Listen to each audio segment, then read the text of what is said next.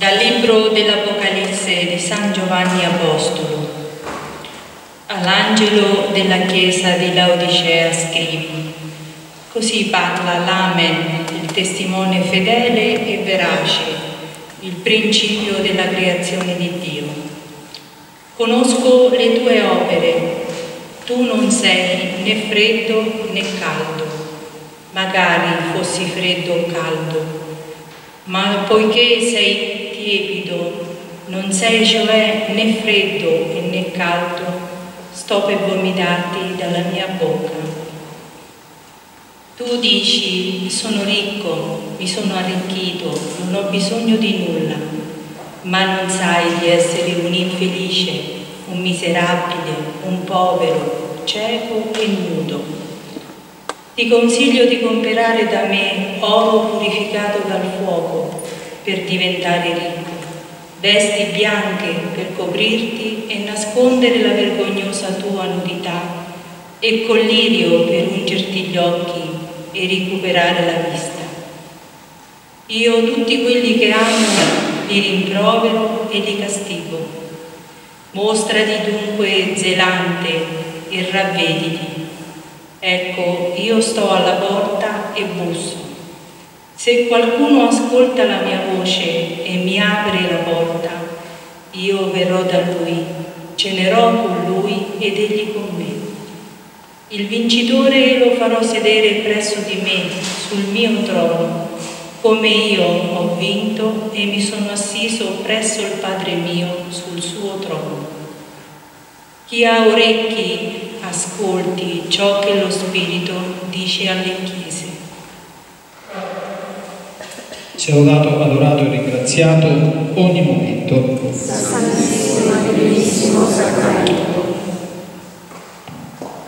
Ecco, il Signore Gesù questa sera ci congeda, diciamo così, momentaneamente ecco, da questi momenti comunitari, pubblici di adorazione questo brano del libro dell'Apocalisse che è l'ultima delle lettere alle sette chiese abbastanza famosa, forse il più passo più notorio tra i sette, e che contiene, come Gesù stesso dice, qualche bella sferzata, insomma, abbastanza tagliente, ecco, da, indirizzata appunto ai nostri cuori, eh, con la precisazione insomma, che anche quando il Signore usa parole forti e chiare, come in questo caso, ciò che lo muove è sempre l'amore, questo dobbiamo sempre ricordarlo, di tutti quelli che amo li rimprovero e li castigo, castigo non vuol dire, penso che tutti lo sappiamo, quella punizione negativa insomma che ci ripugna pensarla soltanto in Dio, quasi che fosse una vendetta o uno sfogo ecco, dinanzi alla nostra cattiveria. Castigo nella Bibbia dall'etimologia latina significa castum agere, cioè rendere casto, quindi purificare, quindi un intervento correttivo di Dio anche quando è doloroso è sempre finalizzato al bene della persona e, e, anche ecco, l'eventuale severità e talora anche durezza dell'intervento divino ha sempre come fine la correzione, la crescita e l'edificazione dei propri figli. Lettera agli ebrei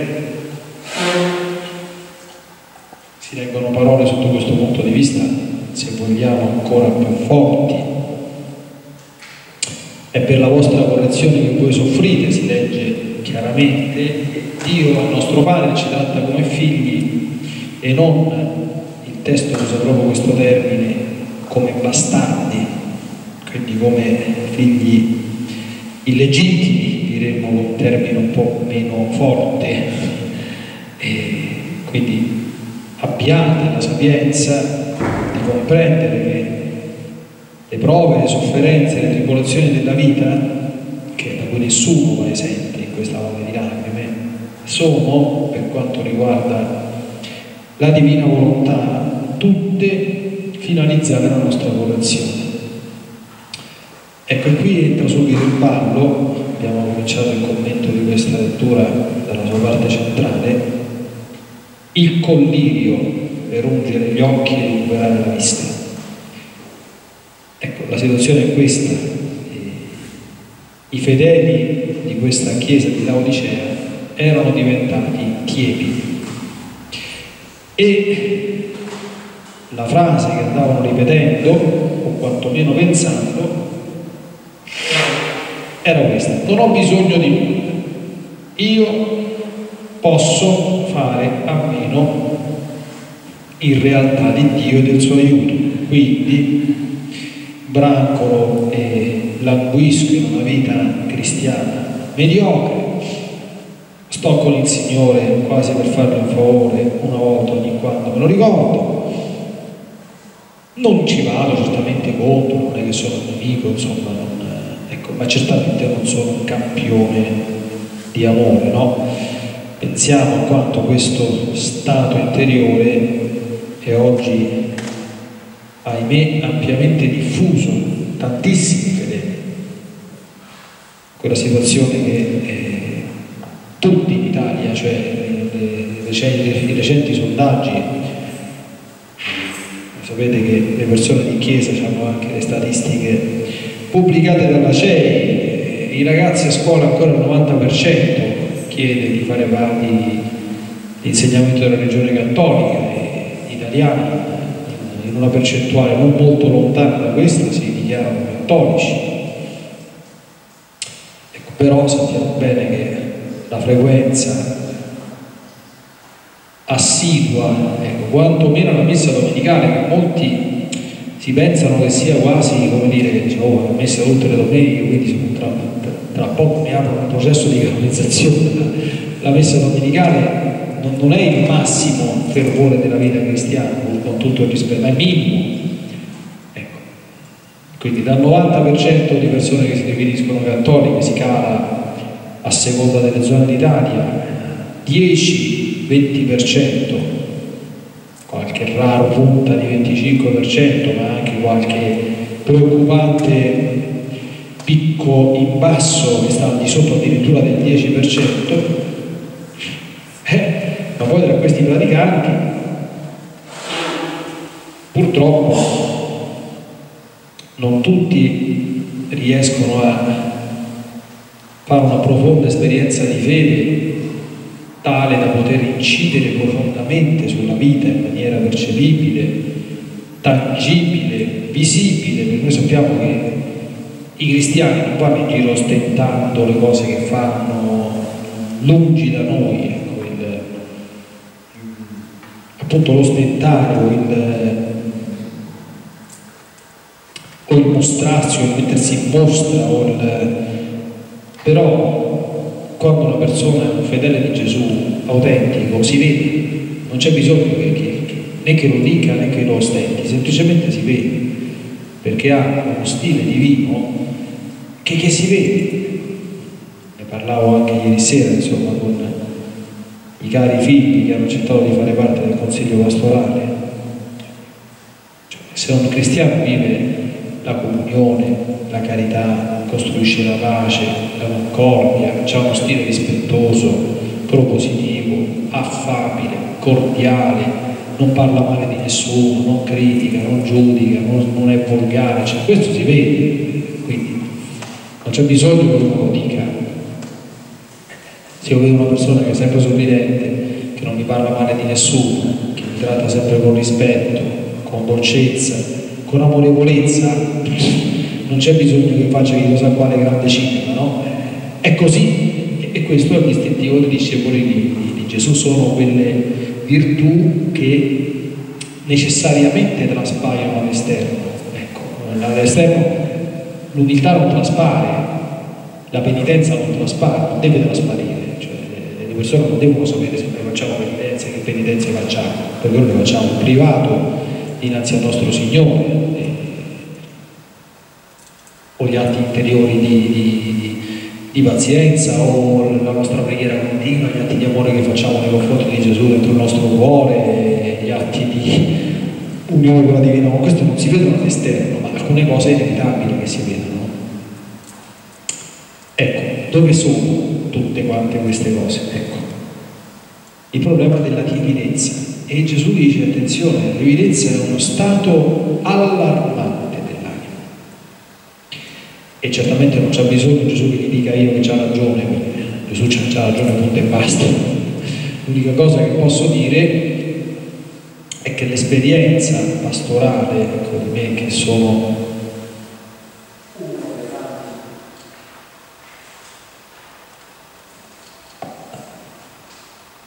sacerdoti dell'Altissimo eh, conferma questa analisi, questa situazione, cioè la timidezza è molto più preoccupante di una persona che invece fredda, quindi che ha fatto una scelta contraria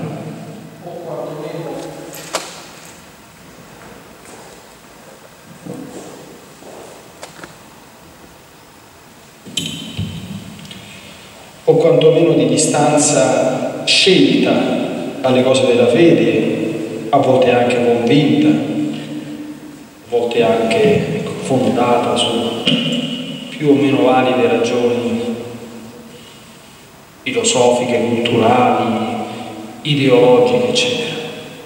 Ecco, allora, tornando, il collirio per ungerci gli occhi, che cos'è? Eh, il collirio per ungerci gli occhi è esattamente questo. Quando arriva qualche prova, qualche croce, qualche situazione di sofferenza, che cos'è? È un modo con cui il Signore cerca di scuoterci dal nostro torpore, dalla nostra debolezza, cerca di toglierci da qualche nostra situazione magari neanche conosciuta, di distanza da Lui, di peccato, di vizio, di idolatria, di attaccamenti vari affettivi. E questo lo fa per il nostro bene, anche se noi non lo comprendiamo. Sono pochissime le persone che dinanzi a una sofferenza, dinanzi a una tribolazione, la prima cosa che pensano è fermi. Questo è volontà di Dio. Forse io non capisco perché il Signore mi manda o permette che accada questa brutta cosa, ma sicuramente un motivo c'è, quindi mi metto in preghiera, nella coscienza e non muovendosi voglia che Dio non voglia, questa sofferenza ha il beneplacito della divina volontà e cerco, chiedendo l'aiuto della sapienza al Signore chiedendo che mi dia un po' di collino per gli occhi, che io possa vederci bene cosa il Signore mi sta dicendo, perché io possa cooperare con la sua opera correttiva nei miei confronti e non semplicemente cominciare come fanno tutti a lamentarsi, a dire quanto eh, adesso ho capitato quest'altra tegola e come faccio, e il Signore mi ha abbandonato, tutte queste cose qui. Il collino per gli occhi. Ecco, poi per chi è tiepido e pensa di non avere bisogno di nulla, ecco, questa è una cosa veramente terribile, perché Gesù non ha nessun potere su chi pensa di non avere bisogno di nulla. Nessuno. Perché Gesù è il Salvatore e vuole essere riconosciuto come tale, ma lo riconosce come Salvatore chi pensa di avere bisogno di Lui, di avere bisogno di tutto, altro che di non avere bisogno di nulla. Come ci ricorda Gesù stesso nel Vangelo, senza di me non potete fare nulla. Non potete fare qualcosa, niente. Quindi avete un bisogno assoluto di me. Ma l'autosufficiente questo non, non lo riconosce. E allora, oltre che al collivio, bisogna prendere coscienza, non sai di essere un infelice, un miserabile, un povero, cieco e nudo.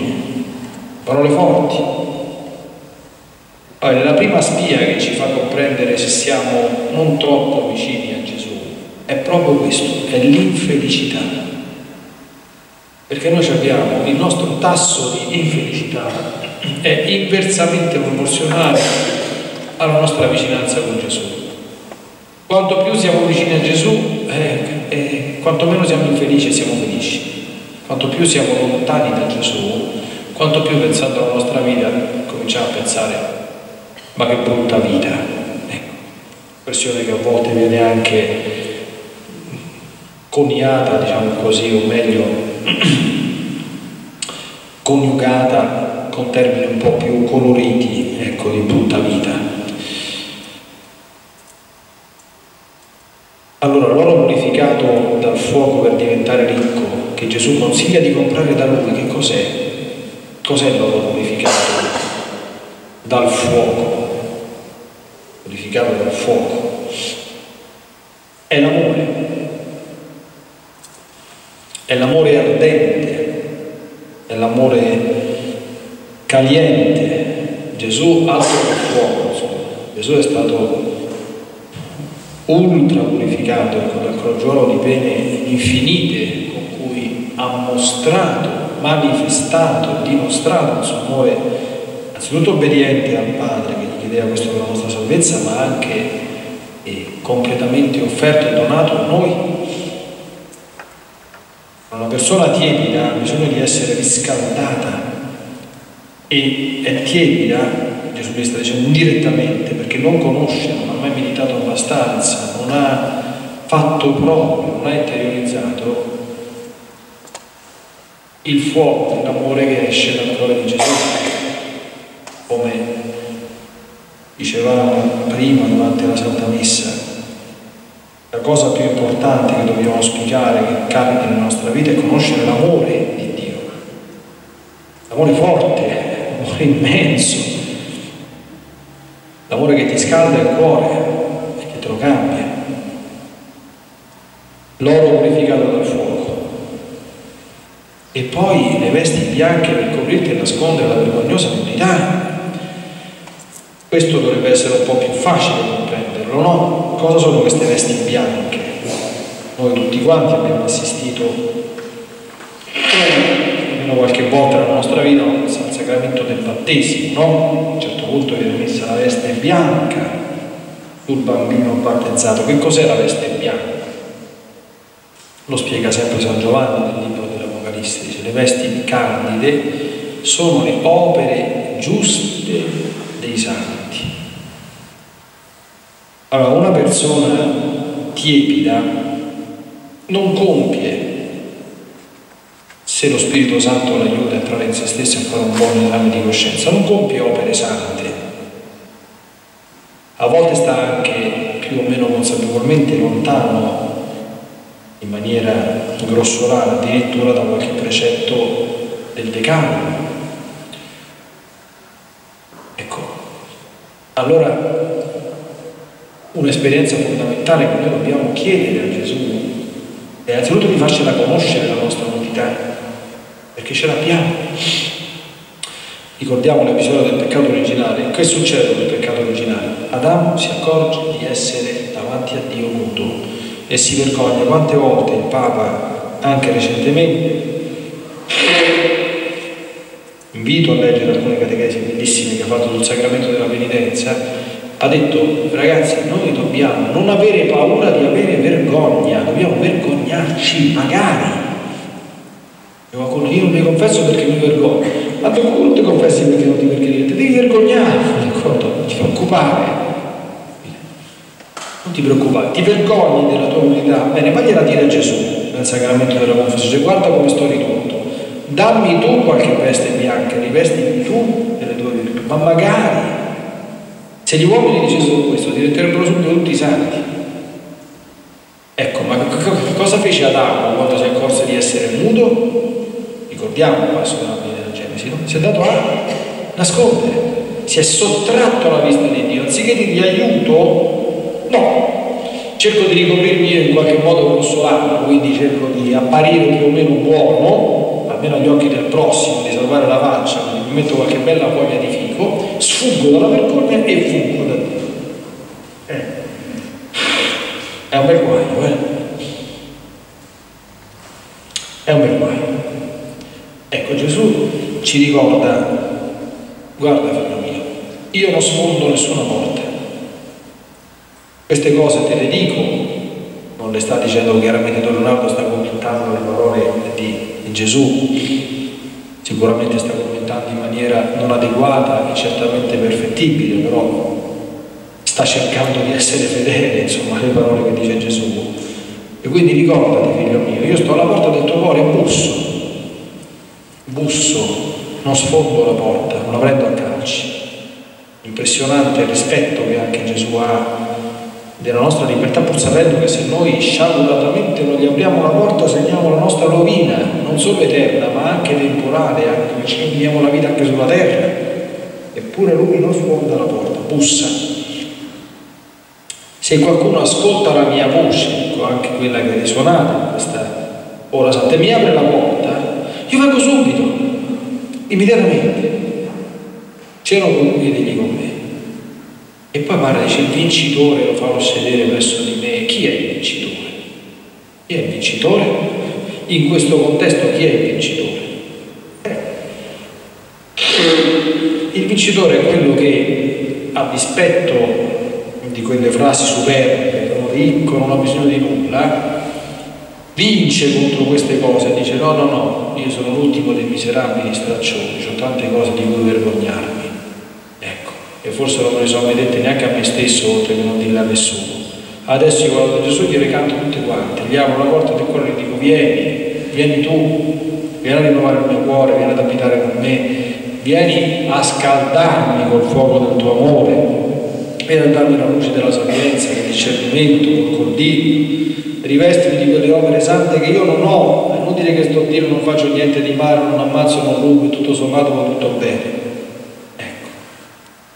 Se facciamo questo noi vinciamo tutto il più grande nemico che abbiamo nella nostra vita, che non dobbiamo andare a cercare molto lontano. Il nostro nemico più grande siamo noi stessi, in particolare la nostra volontà quando si chiude all'influsso della grazia, si intestardisce, così incancrenisce su alcune pseudo condizioni che ha, che difende come i tesori più preziosi che impedisce a Gesù di entrare. Sulla porta e bussano, molte volte purtroppo, ahimè, gli uomini non mi aprono, mi lasciano fuori e io devo avere il dolore, perché Gesù ha questo dolore, di vedere delle vite rovinate già da qui, che avrebbero potuto essere meravigliose, senza poterci fare niente, non perché non posso, perché Gesù è onnipotente, ma perché la creatura non mi dà l'autorizzazione e il permesso di poterla aiutare. È un bel problema questo qui. Ecco. Chiediamo a Gesù adesso nel nostro intimo dialogo con Lui che ci preservi da queste sciagure e che ci consenta ogni giorno di più di aprire a Lui le porte del nostro cuore e della nostra vita. Sia lodato, adorato e ringraziato ogni momento. Santissimo